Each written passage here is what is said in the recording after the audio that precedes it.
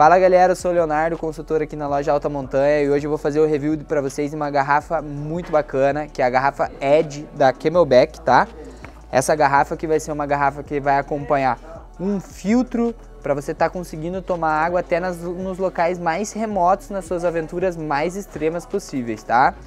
Esse filtro ele vai ser um filtro em duas fases, um filtro primeiro oco, com fibra oca para remover bactérias, microplástico, etc. E em cima o filtro iônico, que é aquele filtro para remover todas as impurezas à base de chumbo, metais pesados, tá? Essa garrafa ela é fabricada próximo àqueles materiais da Chute Mag, que é uma garrafa feita com Tritan Renew, né? 50% feita de plástico reciclável. Também essa, essa garrafa é 100% BPA, BPA free, então você não precisa se preocupar com resíduo na tua água, né? nem com um mau gosto na tua água depois que ela fica guardada por um tempo, tá?